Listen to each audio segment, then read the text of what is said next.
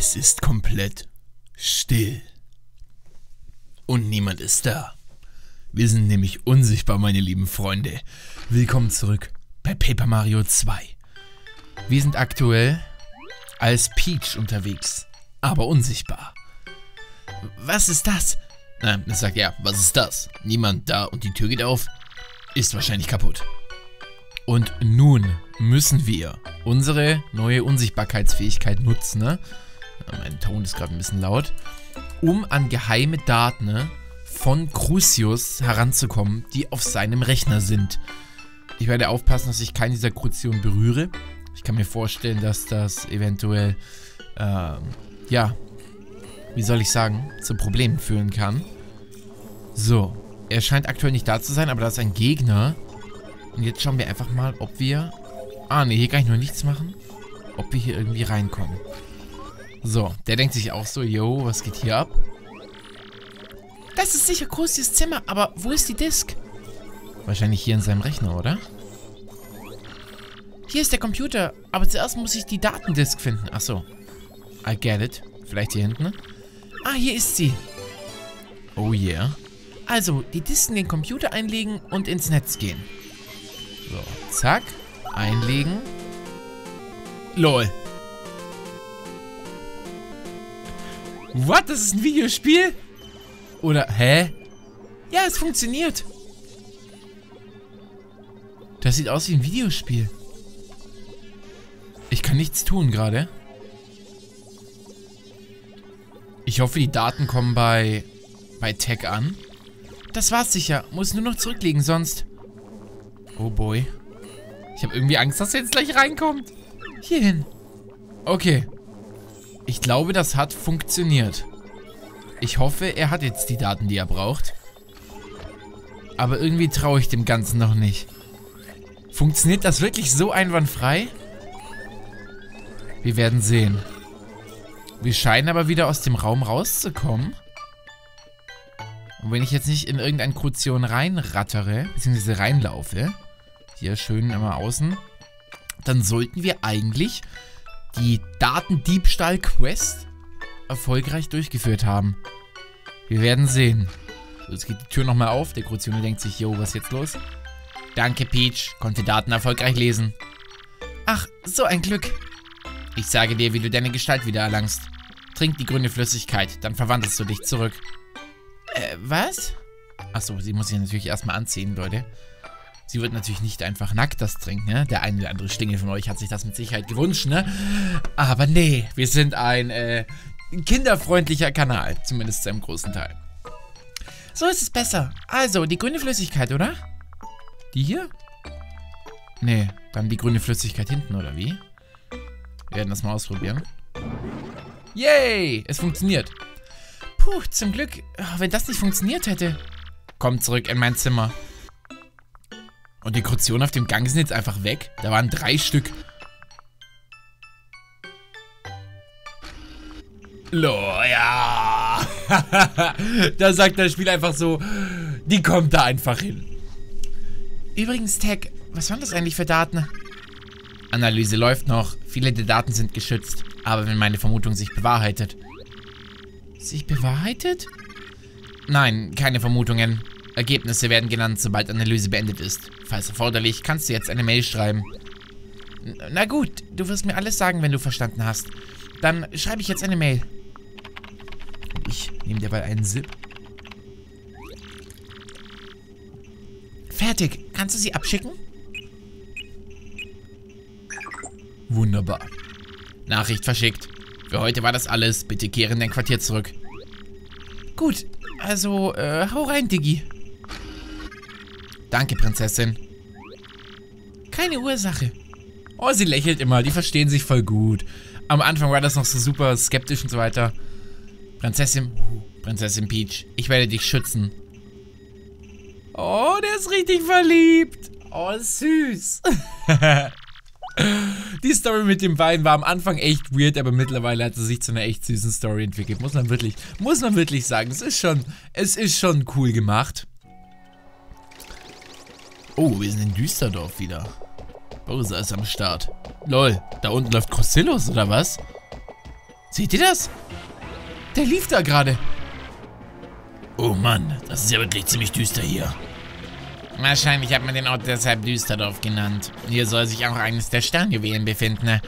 Verhört am besten die hiesigen Düsterlinge, so erfahren wir bestimmt etwas.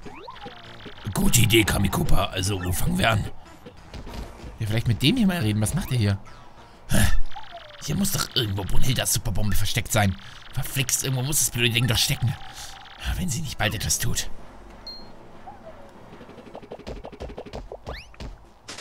Oh, lol. Wirklich?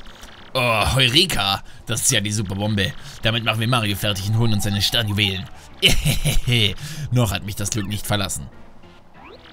Der da, dieser Typ da, der scheint etwas über die Sternjuwelen zu wissen. Äh, hey, was willst du denn, du Schildkrötenimitat? Sucht ihr etwa auch die Sternjuwelen? Da ergeben sich für mich ja ganz neue Möglichkeiten. Na gut, erzählt mir sofort, was ihr über die Sternjuwelen wisst. Und wie wäre es, wenn du uns sagst, was du weißt? Und sag schnell, sonst kannst du was erleben. Du machst mir richtig Angst. Äh, ha, aber wir sehen dann nochmal, wer am längeren Hebel sitzt. Kompanie angetreten. What? Was sagst du? Willst du jetzt reden? Hihihi, mit Bowser's Helix sich besser nicht an. Kompanie angetreten. Oh boy. Hm, gar nicht schlecht. Und was jetzt? Ähm, äh, da hilft wohl nur noch der Einsatz der Bombe. Und das wird euer Schicksal besiegeln. Achtung, Superbombe. War die nicht kaputt? Oh. Hey, gar nichts passiert. Pech gehabt. Uh. Oh.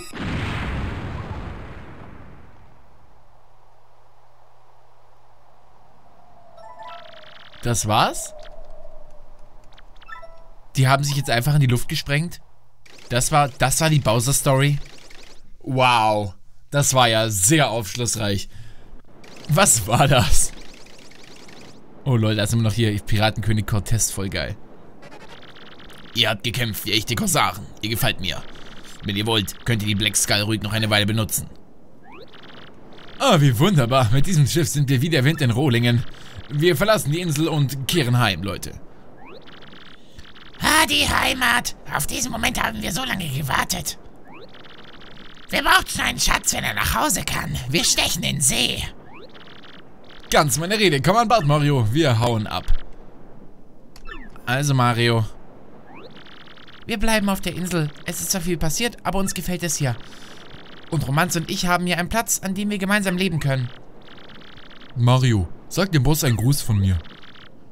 Ich bleib auch hier. Ohne Geist ist die bestimmt gar nicht mal so übel. Ich liebe Happy Ends. Also Mario, was kommt jetzt als nächstes? Oh, Barbara, du, ich, ich liebe dich. Alles klar, zum Ablegen. Wir laufen aus. Oh boy. Geile Story. Sehr, sehr schön, gefällt mir. Ich bin gespannt, was jetzt hingeht. Ich, es, es fehlen ja noch zwei Sternjuwelen, wenn ich das richtig gesehen habe. Ich vermute einfach mal, dass jetzt die Eisgegend kommt. Das ist die, in der noch gar nichts war. Logbuch des Kapitäns. Unser Abenteuer geht zu Ende. Wir hatten gute Winde. Am Horizont erscheint schon der Hafen von Rohlingen. Den Schatz haben wir nicht bekommen, aber ich bin doch sehr zufrieden. Ich denke, ich habe etwas Wertvolleres erhalten als einen Schatz. Wir laufen ein. Zeit, das Logbuch abzuschließen. Der Ruhm gebührt allen. Corsario. Oh, er denkt an die Crew.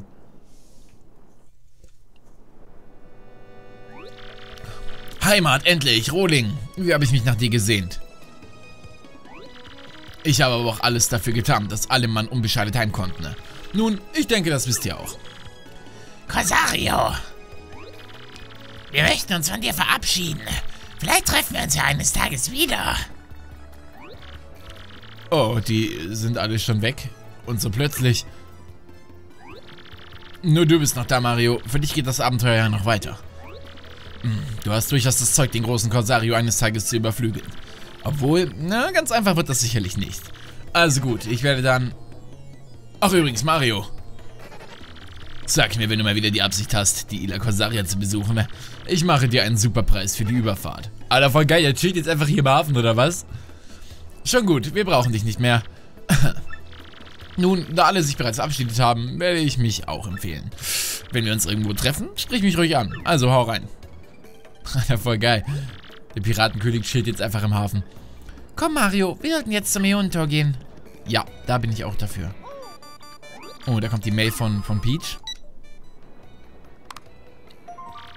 Mario, es gibt gute Neuigkeiten. Ne? In meinem Gefängnis gibt es einen seltsamen Computer. Er heißt Tech. Mit seiner Hilfe konnte ich neue Details über die Gangster herausfinden. Ne? Tech analysiert gerade die Daten. Ne? Wenn eine, seine Analyse abgeschlossen ist, wissen wir sicher mehr. Wenn es soweit ist, melde ich mich wieder bei dir. Peach. Oh, die Prinzessin gibt sich große Mühe. Das sollten wir auch tun. Ja, Barbara, für dich mache ich alles. okay. Ich würde sagen, wir gehen ohne große Umschweife direkt zum Millionentor. Die Ratte hier ist mittlerweile abgehauen. Ne? Also das ist... Die hat einfach unser Erspartes mitgenommen für Investitionen. Drecksvieh. So, aber hier ist Luigi wieder.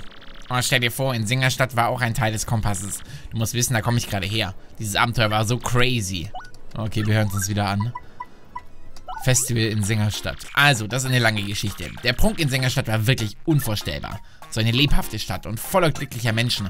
Susella, eine Suseldusel, konnte uns bei, ihrer bei der Suche helfen. Susella wollte auch Schauspielerin werden und dann suche ich nach einem Ensemble, dem sie sich anschließen könnte. Aber wir konnten irgendwie nicht helfen, das war ziemlich kacke. Und dann hat sie uns vom Bühnenfestival in Sängerstadt erzählt. Und der erste Preis war ein Teil des Wunderkompasses. Da musste ich natürlich sofort hingehen. Ähm, naja, die, die Beschreibung hat zumindest gepasst. Also, ja, wir hatten keine andere Wahl. Wir probten für ein Musical und für den Wettbewerb. Der Titel war Das Rätsel des flammenden Wappens. So hieß das Stück. Na, es war eine Katastrophe. Es war ganz gruselig. Ich war Gras. Ich spielte ein Büschel Gras am Wegesrand. Ich dachte, ich wäre was Cooles, aber war ich nicht. Ich musste einfach nur liegen und durfte nicht reden. Oh, ganz schlimm. Und das die ganze Zeit lang. Alle anderen hatten Sprechrollen. Naja, was soll ich sagen? Ich hatte grüne Kleiner, das war alles. Naja, zumindest war das Stück ein voller Erfolg. Also bekamen wir den Teil des nächsten Wunderkompasses. Und besonders freuen konnte ich mich zwar nicht, aber ich beschloss, mein Abenteuer fortzusetzen. Aber dann warteten auf einmal diese Fans hinter der Bühne und, ja, du kennst das ja, der Fame und so weiter. Und ja, dass man auch als Gras so beliebt sein kann, wusste ich gar nicht. Das war ein nices Gefühl. Und der Wunderkompass zeigte mir das nächste Ziel. Die Ruinen des Kometenpalastes in Sagenwald. Mein Ziel stand fest und dann hörte ich wieder die Stimme, diese geile Stimme von Prinzessin Eclair. Oh mein Gott, das war so nice. Wie Gras auf einer saftigen Wiese. Ich werde die Prinzessin auf jeden Fall befreien und, ja, du weißt Bescheid, jetzt bin ich wieder hier und jetzt, äh, ja, passt alles. Okay, und jetzt erfahren wir wieder, was wirklich passiert ist. Mein Name ist Rosella. Luigi ist wirklich ein talentierter Schauspieler. Sobald seine Mission beendet ist, werden wir wieder zusammen auf der Bühne stehen. Unser nächstes Stück heißt Das Wunder des roten Siegels. Luigi spielt natürlich das Gras. Lol, okay. Die, die, die hasst ihn nicht mal. Ne? Normalerweise hat ihn ja jeder gehasst und, und sagt dann immer, ich bringe ihn um irgendwann. Aber der hat wohl seine Rolle als Gras sehr überzeugend gespielt. Oh, jetzt haben wir schon eine Mail. Jetzt gibt es auch das Rohlinger... Äh, hier die, die, die Rohlinger Post wieder. Es ist wirklich... Äh, hier, ist, hier ist permanent was los. Du kannst nicht mal chillen. So, ähm... Rohling, der als Blumengumba bekannte Parkumba wurde heute im Park von Rohling dabei entdeckt, wie er Blumen pflückte und aß. Seine Antwort war, Verzeihung, ich liebe Blumen und auf einmal waren sie in meinem Mund. Nach Bekanntwerden des unglücklichen Vorfalls zeigten Bürger von Rohling Mitgefühl mit dem reuigen Blumenfresser. Shopping-Detektiv. Heute stellt sich der Laden, heute stellt sich vor, der Laden von Düsterdorf. Der Laden wird von einem jungen Ehepaar betrieben und der Inhaber scheint zu fürchten, dass Kunden seiner attraktiven Frau nachstellen. Meine Frau bleibt bei mir, so lautet der Kommentar auf unsere Fragen. Nun, die Liebe dieses Paars wird sicher niemand anzweifeln wollen. Ein Service des Düstershops für RAD-Leser. Doppelte Rabattpunkte für Einkäufe in den nächsten 15 Minuten. Juckt mich nicht. Ich möchte zum Millionentor. Das ist alles, was ich aktuell will. Und wir werden auch direkt, wenn wir jetzt hier vorbeilaufen... Oh lol, warum steht der draußen? Ich wollte Bad umverbessern. Oh, gut, dass ich dich treffe. Bei der Befragung der Sterne erfuhr ich eine Offenbarung, die dich betrifft. Sie besagt, dort wo einst ein großer Drache war, neben dem Raum... Oh, ich muss schon wieder...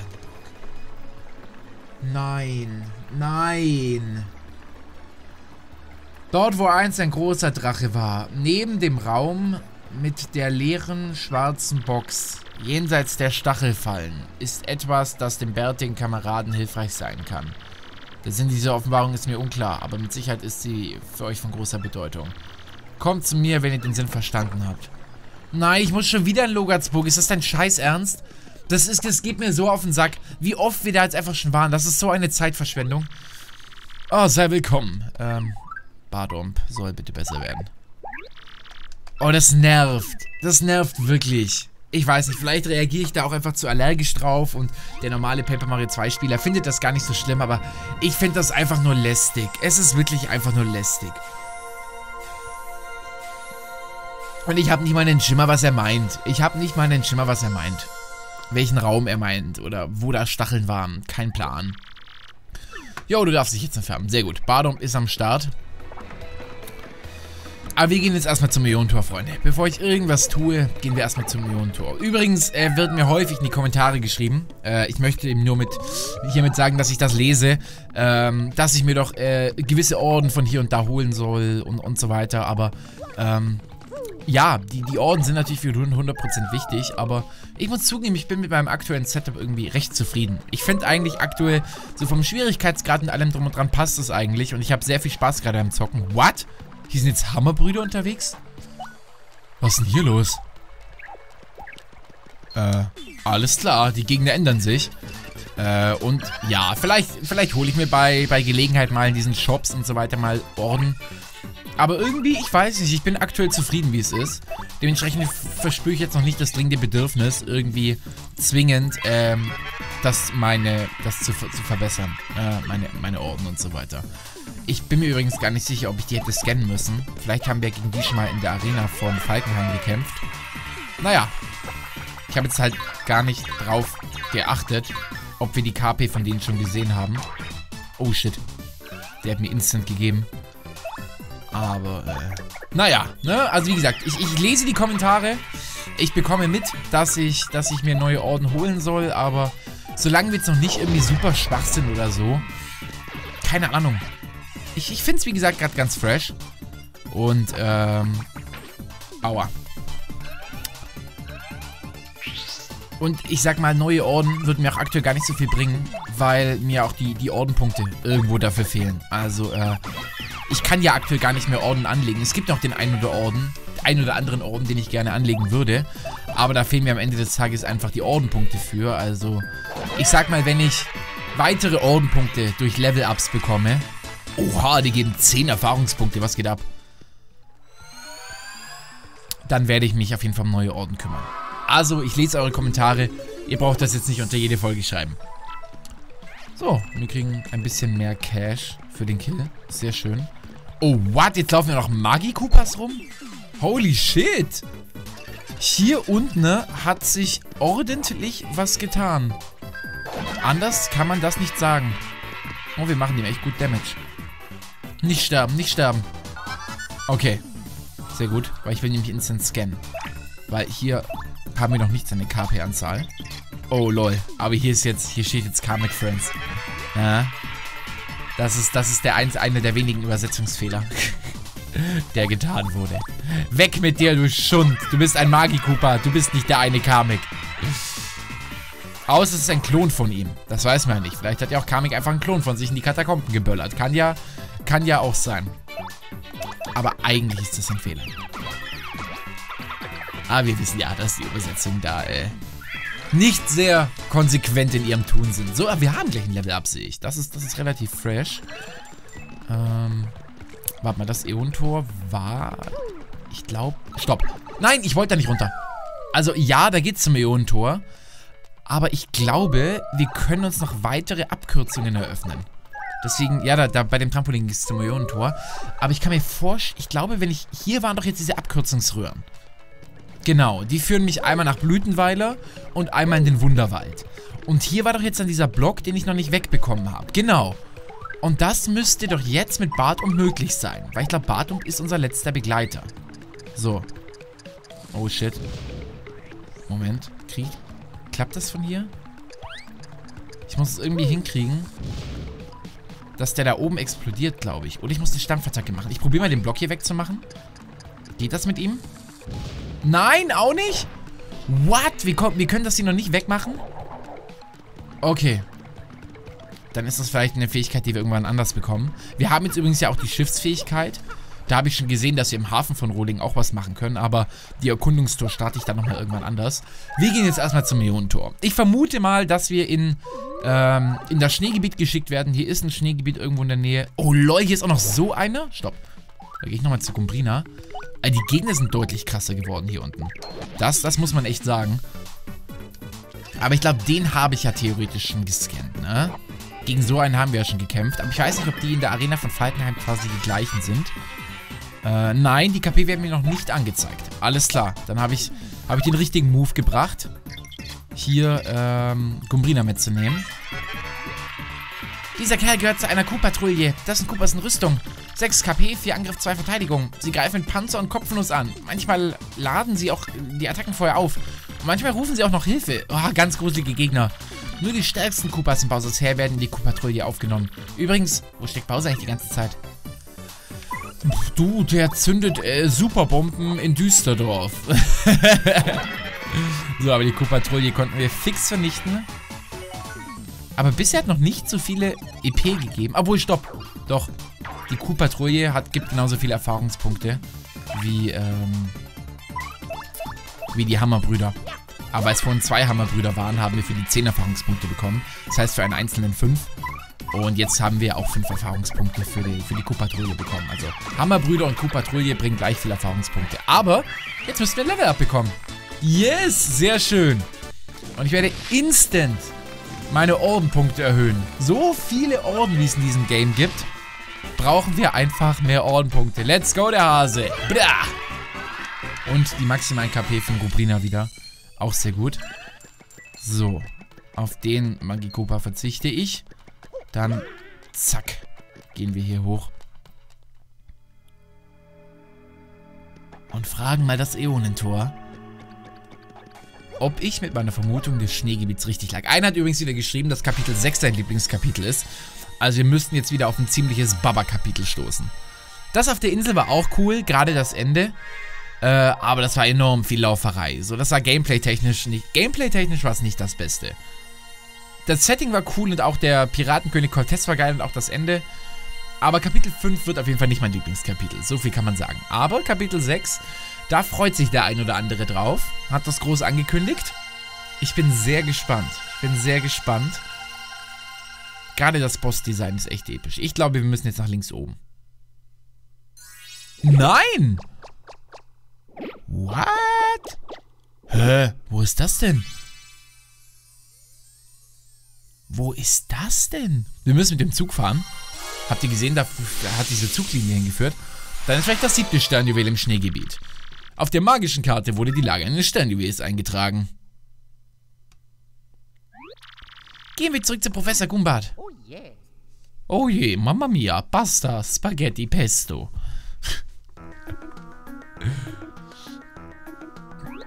Oh, ihr werdet euch freuen. Das nächste Sternjuwel ist im Bad Glimmerich.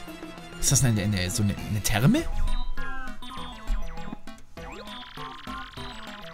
Bad Glimmerich? Wohnen eigentlich die ganzen Reichen und Schönen? Nach meinen Informationen wird im Glimmertempel ein Stern verehrt. Es gibt dort weder gefährliche Monster noch dunkle Verliese. Bad Limmerich ist ein sehr geruhsames Touristenstädtchen.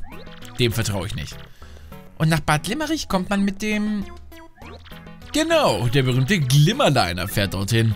Zu diesem Sternjuwel habt ihr also eine sehr bequeme Reise vor euch. Es mag jedoch sein, dass es etwas Mühe kostet, das Juwel tatsächlich zu bekommen. Aber ich habe gehört, die Fahrkarten für den Glimmerliner wären unerschwinglich. Ha, vielleicht müsst ihr wieder Alpamone bitten. Oh nein, der ist schon wieder. Na gut, was sein muss, muss wohl sein. Gehen wir, Mario. Also, ihr habt verstanden. Wahrscheinlich haben wir nicht mehr viel Zeit. Und ich brauche noch einige, einige Informationen. Also viel Glück euch. Danke, Buddy. Also ich glaube, wir wissen alle, dass es äh, mit Sicherheit nicht ein einfacher Ritt wird, einfach nur nach Bad Limmerich zu fahren und sich das Sternjuwel mitzunehmen, was da irgendwo rumliegt. Das wird mit Sicherheit wieder mit der ein oder anderen äh, Komplikation verbunden sein. Was steht eigentlich mittlerweile auf der Rückseite? Sudelecke. Dieser bärtige Kerl ist Teil von der Ila Corsaria zurückgekehrt. Vielleicht sollte ich es auch mal versuchen. Ist ja egal, ob ich verflucht werde. Einer, der das schnelle Geld machen will. Ja, maybe. Den Piratenkönig Cortez haben wir ja vertrieben. Vielleicht kommt man jetzt an den Schatz. Nee, man kommt nicht an den Schatz rein. Das, der, der Schatz ist ja auf dem Schiff. Dementsprechend müsste man irgendwie das Geisterschiff von Cortez überfallen. Ah, das könnte schwierig werden. Aber wir haben jetzt neue Möglichkeiten. Wir haben hier schon einige von diesen brüchigen Wänden gesehen. Und mit Bartoms sind Ich kann das nicht sprengen? Ja, das hat auch nicht gepasst. Wow. Also entweder muss das sehr platziert sein. Tatsächlich. Wir kommen da nicht ran. Oder war ich nicht nah genug an der Wand? Ja, crazy. Warum auch immer da eine brüchige Wand ist. Lol, jetzt geht's. What? Das muss ja übel präzise sein. Aber eine weitere Insignie. Sehr schön. So, zu Alpermone ging es ja hier lang, glaube ich. Und mal schauen, ob er einen ein Ticket für diesen äh, Zug der Reichen, ja, für diesen Polarexpress hat. oh, er ist krank. Oh, oh, Palmina. Seht euch den Boss an. Die Trauer um seine verlorene Tochter hat ihn krank gemacht. Romanzo war wie ein Sohn für ihn. Seitdem er weg ist, liegt der Boss nur noch rum. Für die Räuberbande sind goldene Zeiten angebrochen. Und abgesehen davon, was wollt ihr eigentlich vom Boss? Was? Ihr wollt eine Fahrkarte für den Glimmerliner? Ihr wollt eine Fahrkarte? Sehr interessant, aber wir können dir leider nicht helfen. Darum müsste sich schon der Boss selbst kümmern. Oh, Palmina. So habe ich den Boss noch nie gesehen. Wenn wir wenigstens wüssten, wo Palmina sich aufhält, ging es ihm sicher besser. Palmina und Romanzo? Waren das nicht die beiden auf der Isla Corsaria? Was? Was sagt ihr da? Ihr wisst, wo, wo sie ist? Wirklich? Wenn du lügst, mach besser dein Testament, bevor wir dich zu fassen kriegen. Äh, wenn du wirklich weißt, wo sie sind, bring sie Schlottenhain, oder? Nein. Nein. Wir würden auch gehen, aber wir können den Boss nicht allein lassen. Wer, wenn wir, wer ihm seine Tochter wiederbringt, wenn ihr ihm seine Tochter wiederbringt, sorgen wir für eine Fahrkarte. Das ist so komme gerade von der Insel und muss jetzt wieder dahin. Ich finde das ich das Gameplay technisch weird gelöst. Auf der einen Seite sorgt das halt natürlich dafür, also ich sehe auch den positiven Aspekt irgendwo. Es sorgt dafür, dass es halt nicht wie so eine lineare Welt wirkt, wo man einfach nur von Anfang bis Ende durchläuft, sondern man muss die verschiedenen Orte immer wieder bereisen und so weiter. Also diesen Aspekt sehe ich schon. Also, aber ich finde es ich finde es teilweise schon irgendwie ein bisschen lästig gelöst, muss ich zugeben. Aber, naja, was, was will man machen? Ne? Was will man machen? Es ist ich will die Story ja. Ich will, ich will die Story ja kennenlernen und ich will wissen, was hier abgeht. Da muss ich auch das tun, aber ich finde es, teilweise finde ich schon irgendwie krass.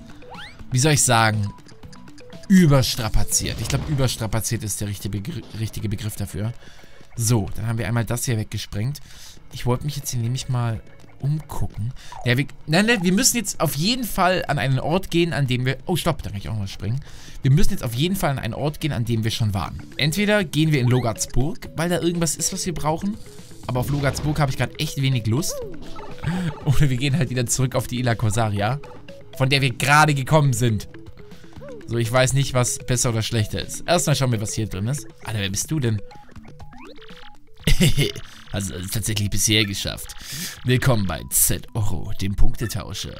Wenn du deine eigenen Fähigkeiten oder den Rang deiner Freunde anpassen möchtest, kann ich dir für nur 39 Münzen behilflich sein. Also, du oder einer deiner Freunde, wer von euch braucht eine kleine Veränderung? Ich sag mal Rang der Freunde. Im Moment kann der Rang deiner Freunde nicht verändert werden. Ah, okay, danke. Und meine?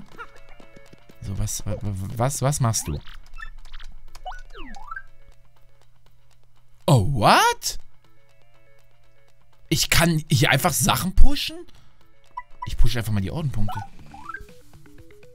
Und... Ach, ah! Ich kapiere. Ich kann hier umtauschen. Ich kann hier quasi die Punkte, die ich bei meinem Level-Up verteile, kann ich hier an dieser Stelle umtauschen. Nee, nee, nee, das mache ich nicht. Ich, ich wähle ja meine Level-Ups schon mit Bedacht und überlege mir schon, was immer passt. Ich bin aktuell mit meinen verteilten Level-Up-Punkten sehr zufrieden. Nee, nee, das, das ist in Ordnung. Okay, das ist ein bisschen das Breath of the Wild-Prinzip. Wo man quasi auch ähm, Ausdauer-Container und Herz-Container miteinander tauschen kann.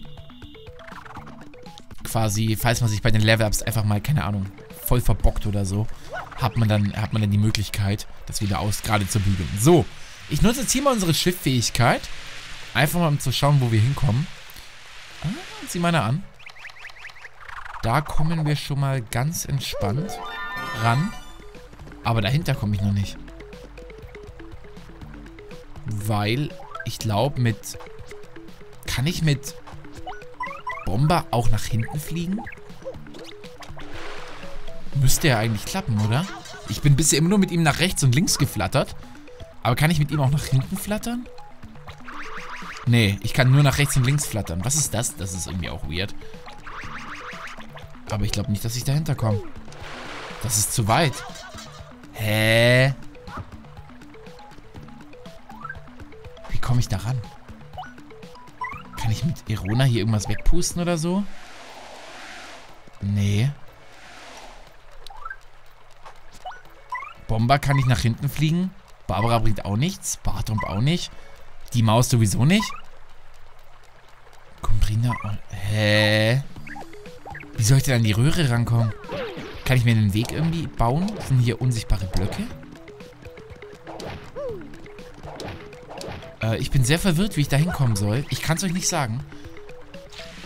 Aber wir können uns ja nur bei diesen Bootsplattformen wieder zurückverwandeln. Hm. Höchst interessant. Kein Schimmer, wie ich daran kommen soll. Werden wir dann wohl bei Gelegenheit nochmal irgendwann herausfinden. Oder wir kriegen nochmal, keine Ahnung, irgendwann eine Fähigkeit, äh, weiter zu springen oder, oder was auch immer. Meine einzige Idee wäre, wie gesagt, Bomber gewesen. Warte mal, wie komme ich denn da hoch? Da muss ich die Wand wegsprengen. Von der Seite. Aber da muss ich auch erstmal da hochkommen. Ah, Leute, Fragen über Fragen. Kann ich vielleicht irgendwann, vielleicht mit diesen Rohren hier interagieren? Oder mit diesem Gerüst oder so? Ich habe keinen Schimmer. Ich kann es euch nicht sagen. Okay. Also, obwohl wir jetzt, glaube ich, alle Partner haben.